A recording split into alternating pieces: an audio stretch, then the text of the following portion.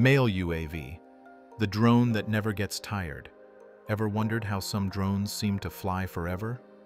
Meet the male UAV. No, not a male drone, but a medium altitude long endurance, unmanned aerial vehicle. Basically, the Iron Man of drones. Medium altitude? What's that? Think of the sky like a three-floor building.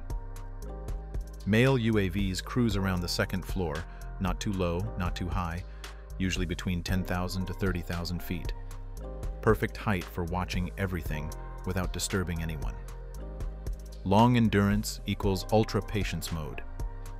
These drones can stay in the air for 12 to 30 hours. Yes, one full day.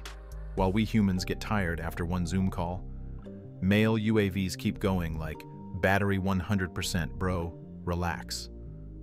So what do they actually do? A lot.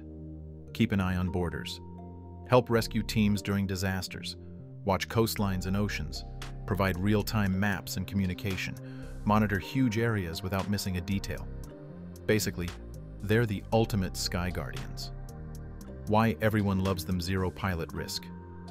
Huge range. Can see far. Can fly long. And best part? They do all this remotely.